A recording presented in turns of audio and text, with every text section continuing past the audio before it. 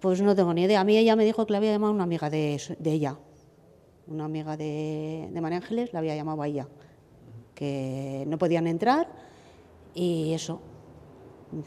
Y entonces, nada, luego me llamó también otra amiga mía, me dice, oye, ¿qué pasa en tu portal? Dice que está la policía.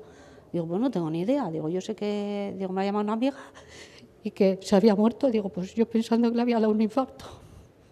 Y ya está. Y luego me dijo, dice, no, no, dice que la han atracado, dice, y está atada. Y no sé más, dice, no sé más. Mucha pena, ¿no? Sí, sí, porque ya te digo, era una señora muy agradable, muy maja. De que vino toda la policía y todo, pero vamos, es clienta mía. Ajá, ¿la Sí, la conocía, sí.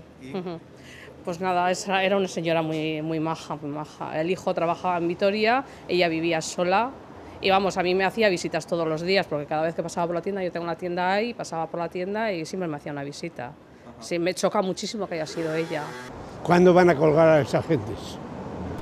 Así de crudo, como lo del Carlos ese Aguilar, que ha matado a dos, que sabemos, y otros tantos, pero ¿qué, qué es lo que pasa? ¿Qué es lo que pasa en este, iba a decir un taco, en este mundo?